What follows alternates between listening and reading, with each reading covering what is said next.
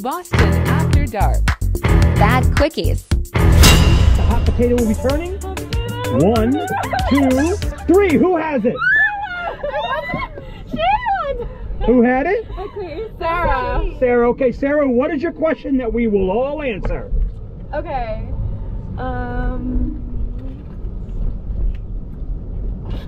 We only have time for one question, so make it good. Make it a good one. Have you ever brushed your teeth in the shower? Yeah. Of course. Come on now. Who hasn't brushed their teeth in the shower? Come on, Sarah. Sarah, come on, you can do better than that. Sean, I haven't. You haven't brushed your teeth. You need to go home and brush your teeth in the shower tonight. We're doing that tonight. not my preference, Woo! it's not my preference because it's just like. It's Do just a shower. to keep the hat? Toothpaste. Yes, you do. Okay, awesome. Awesome. All right, so your answer is one no and three yeses to having brushed our teeth in the shower. Yeah. Awesome. Anybody you guys want to say goodbye to or hello to? Hello, mom. Love you. I'm sorry, Mama. There we go. Well, ladies, you have a wonderful night and be safe, okay? Thank you. Thank you.